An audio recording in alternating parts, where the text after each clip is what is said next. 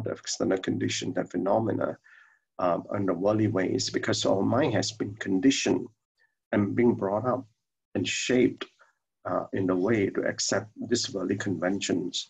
So in so doing, they give rise to a lot of afflictions, right? That knows endless desire, uh, because we're in desires realm, and I, when when we have a million, we want 10 million, so when 10 million, when 100 million, when 100 million, we want 1 billion, and 1 billion is not enough. So it goes on and on and endlessly. So all this uh, karma that we create and afflictions arising from, um, from, the, from there, um, it's uh, all planted in our way, unconsciousness or where the store of karmic seeds are. And so when we take on this life, we have all these biokarmic seeds. So when it drop upon us, um, call its sufferings. So and for suffering of birth, sickness, aging, and death, suffering from parting with those we love because we got attached to the small love that we have. And suffering from meeting those we hate, and this all accumulated in the past that we have created, unable to obtain uh, uh, what we want, and, uh, and then of raging out of our aggregates uh, in the skandhas, um, and replicate our afflictions. So this is a causation of suffering and, and, and all this had been accumulated uh, in the past life. So what we make sure is that we do not accumulate anymore in this lifetime and purify the past. So it's a um, interesting quote by Master Cheng Yen. He say, when we're willing to repay karmic debts, we get 20% off. So I let him have his way. Uh, yeah, I want to get upset with him. Now, surely if you have this sort of mindset, you'll get along harmoniously with people because you're accommodating. So when you're accommodating, actually you flow like water. Water can take any shape or form. Water can solidify, it can fluid, it can be um, a vapor. So therefore, in whatever form it is, um, you, you can it can be harmonious under any condition in, an, in any shape or form. So therefore, we repay the karmic debts, we learn karmic lessons. At the same time, we discharge our karmic responsibility. So we need to be accommodating, see the bigger picture, and distance ourselves from karmic causes and not be entangled uh, with them. So in do, so doing, what we are doing is that when we engage in this practice, um, when we repay the karmic debts, we're actually purifying uh, what we the, the past causes and, uh, but in so doing, purifying the com, com, uh, past causes and repaying the debt, uh, at the same time, we are giving. Okay, we, we, we, and we, when we give, we don't ask for anything. So we create good karmic connection and affinities. And so imagine now you're actually clearing past faults, gathering more merits, and this leads to cessation of suffering, which is the, um, the uh, the third and the fourth uh, noble truth. So what is these three flawless studies? Uh, precept, samadhi, and wisdom. So precepts, um, so let us go to here. So what, to understand the Dharma, we follow uh, the, the rules of being a good person and walk the correct course through life. So rules of being a good person and walk the correct course through life. This is about um, correcting yourself. It's about having the right character. It's about changing our character. So whatever unwholesome we have when brought up from the past life, we correct them by following the rules. So remember the um, picture I showed you all once before, you're on a straight road, but there are a lot of side roads, left and right. Um, we don't get, we follow the rules, we drive straight. So this is following called following the precept. The precept are so basically the precepts are the discipliners. Now, if we can remain disciplined, that means we are training not to be sidetracked by any distraction or disturbances that come to our life. So that is in itself is a training for you to to practice in stillness, which is samadhi. So whatever confusing uh, everything else that comes to disturb by external condition, you won't be disturbed. So naturally, on the precept, you flow to samadhi. When you're in samadhi, then you see the stillness. When when you are not, the mind is not disturbed. When the mind is so same thing. When you do your contemplation, when your mind is still, that's when you gain your realization. Okay, so that realization come from the sound of silence. And that is where you grow in wisdom.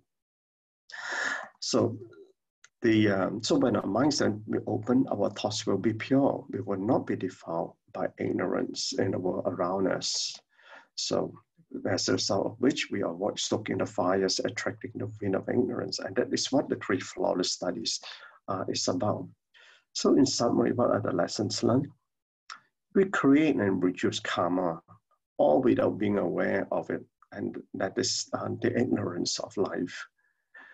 So we cannot just look at the Buddha and the Master say, we just pray to the Buddha and expect to be protected by him. And, and we don't wait for the one um, and that way we've been transformed. It doesn't work that way. So the mind is ours and it's ours to change. So we need to realize uh, the Buddha mind or the pure nature uh, so that we can um, penetrate the principles. So in the world today, there's so many disasters which is happening. There's so much discord in the people, and this is a condition and the world that we're in right now. So all these things because the mind is not uh, balanced. But despite all this, um, we have to be in practice amongst these people. And that's the reason why the pure mind will not uh, prevent us from deviating and wisdom leaks.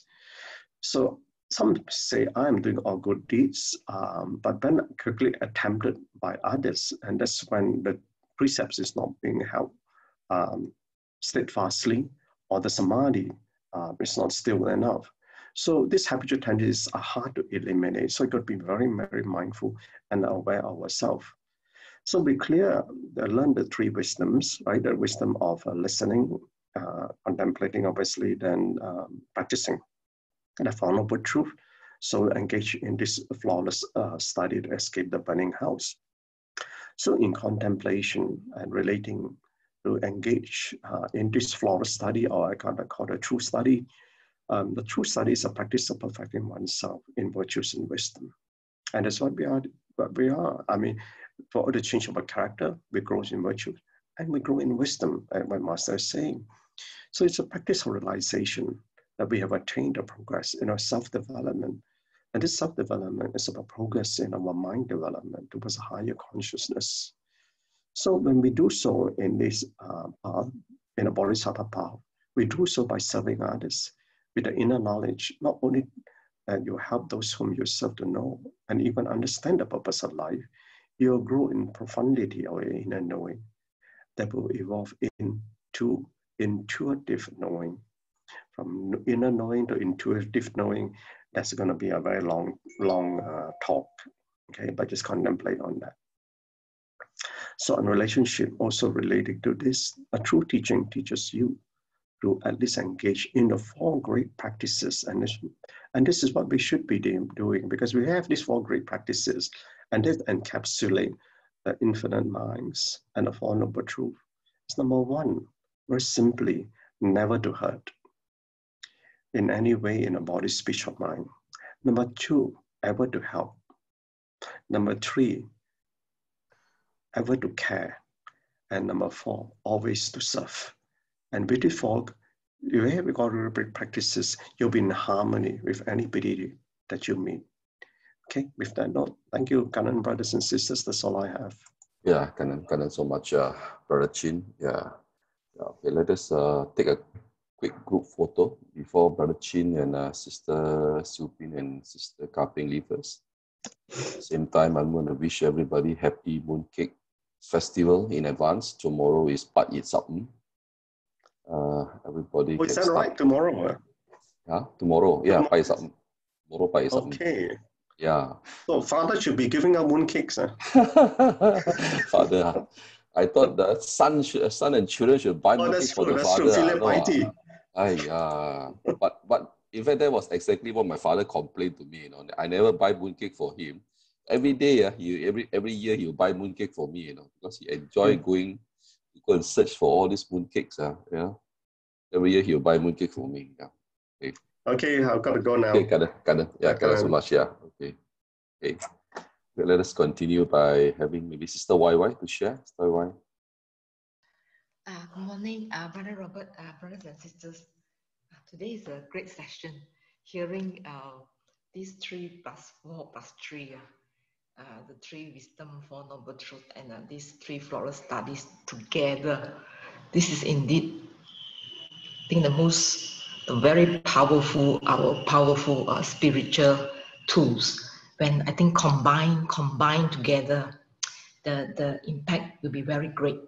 And Master mentioned this, this is actually uh, not only, you know, can preserve, preserve, uh, but grow our wisdom life. So here again, I'm happy to hear about the mirror analogy. Today, Master mentioned the Da Yuan Jing Zhi, the great perfect uh, mirror wisdom.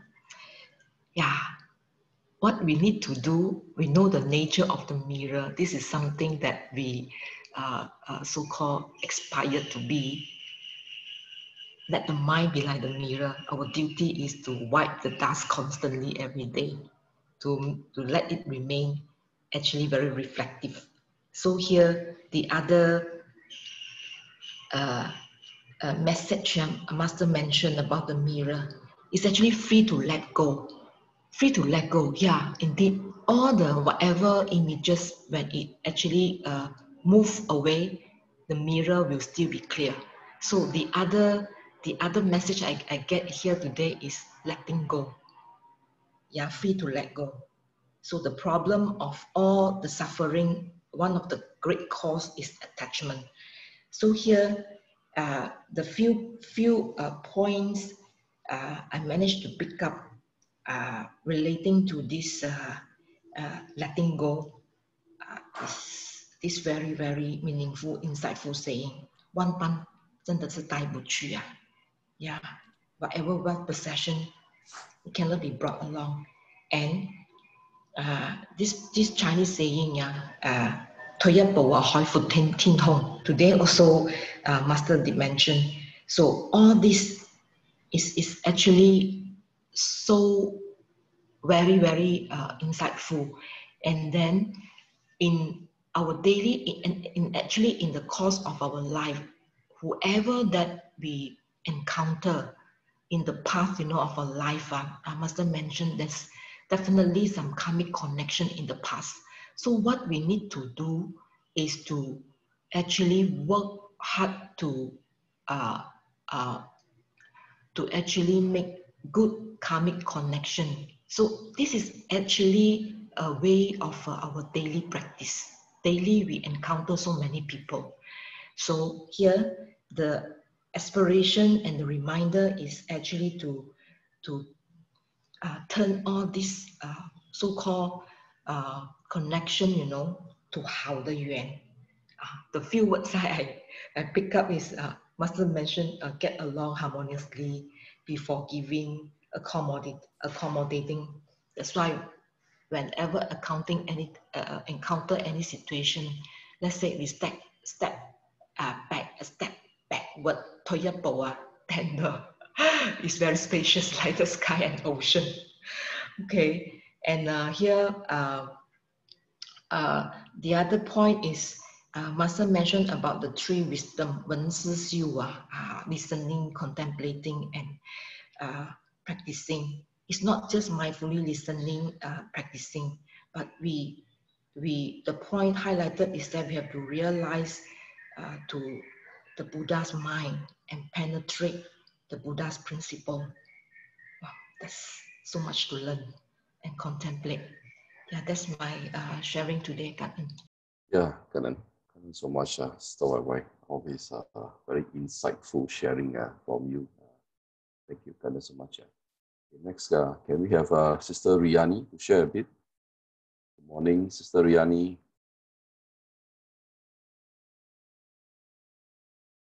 Sister Riani, are you able to share? Eh, sorry, sorry. No problem. Just now was in late. oh. Um, ah, yeah, the, today Master sharing uh, is quite same lah, like uh, what, what, what I shared yesterday. Because uh, actually these things I, I keep share with my uh, uh, daughter. Because my daughter keeps saying, you are doing good this, you are so good, this and that. But like Master today said, uh, while you are doing good deeds, uh, you also sometimes you do the bad things because of our habitual tendency. Like me, I know my habitual tendency is uh, my temper, then also my speech karma. Lah. Um, towards others, I'm okay. Lah, but family, you know, these mouths, uh, sometimes uh, I like to utter the not a good good words to hear. So because I know I I take my family for granted. My family is uh, love me. Like yesterday, my daughter told me because every night before they sleep, they like to go to my bed. Then we will have a chit chat. Then my eldest daughter told me, "Mommy, you know what? Whenever, even though um, you are angry with us, you smack us, you whack us, but at the end of the day, every night definitely we will come to your room, we will hug you and say, we love you. Because we know that um, mommy is not um, uh, have that intention to hurt us, but because of we also trigger you, we also uh, not listening. That's why you lose your temper. That's why like, I said, I, I, I told myself, lah, because of these things, uh, so I know why, whatever what I did to my daughter, definitely they will forgive me. That's why I keep repeating, repeating my mistakes. Uh. So I cannot do like that lah, because this, this thing is not good then I, I will try my very best to slowly eliminate my this bad temper. Okay, Gan En. Yeah, Gan En, Kanan so much. Uh, Sister Riani, uh, maybe uh, this Sister Riani, you are following the, the olden teaching uh, in Chinese people said, uh, what a 打是爱,骂是疼, you know, so the more you beat, the more you score, probably you, you love your children more uh, but anyway of course it's not not not right lah you know anyway uh, sometimes I think think sometimes I think not only Sister I think in fact even myself also I think sometimes we also uh, abuse our our closeness with our our family members. Fact, I think uh, uh, to, to, hear from Sister Riani and also a good reminder from Sister Riani to all of us. Yeah, sometimes we just take our our family members uh, a little bit for granted. Yeah, yeah. Thank you so much, Sister Riani, for your sharing. Next, can we have Sister Effie to share? Sister Effie, good morning. Good morning, Brother Robert. Good morning. Uh, and sisters. Uh, my gist today is about the uh, the uh, pur purification of the mind coming from the uh, tree forest studies, meaning that uh, uh, when we listen to the Dharma, we have to uh, listen earnestly and then contemplate the teachings. How to contemplate the teaching is by uh, going into experiential that means uh, we go and practice it to feel. And, uh, and uh, in doing so, we will awaken our consciousness. And then uh, also uh, in the process of it, uh, when we benefited from the Dharma, we must not forget to also guide others who have karmic connections with us and not let them uh, alone because uh, a, a, person alone, uh, we can't do much. We need the strength of many, many, many people. And uh, this is what uh, we need the purification of the mind. If uh, more people's mind are purified, then society will be in harmony. And how to reach out to the purification of the mind, Master was saying that the burning house, we need to not only save ourselves, uh, no, sorry, we need to, first of all, uh, reach out to save others first.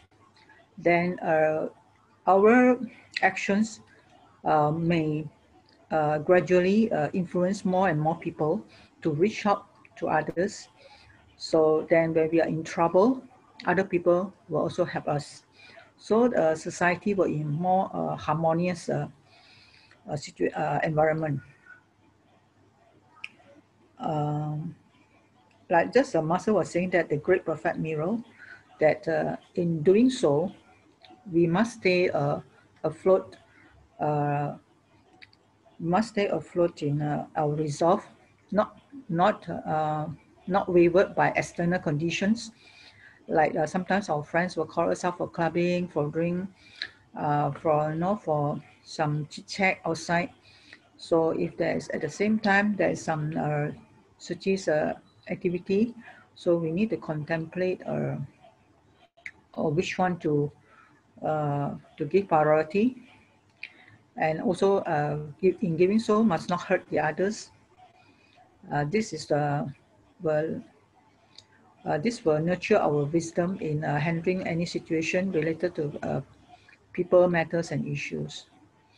Uh, the most important is to nurture our wisdom life through cultivation. As at the end, Master was saying that we need the precepts to self-discipline ourselves.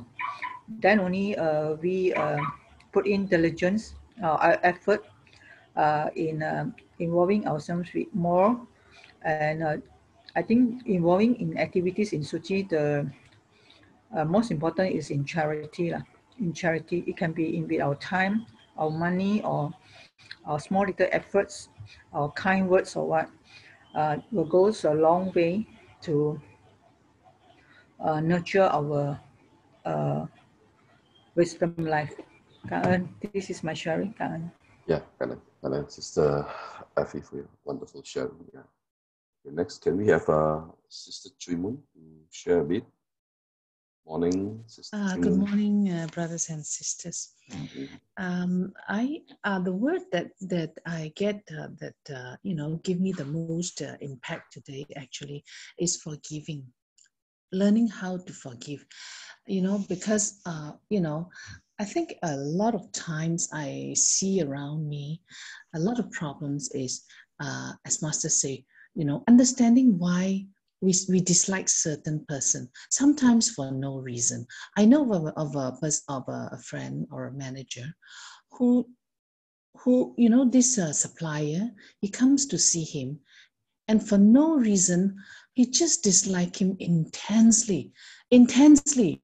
He doesn't like to see his face at all you know, but he doesn't understand why. So I think, uh,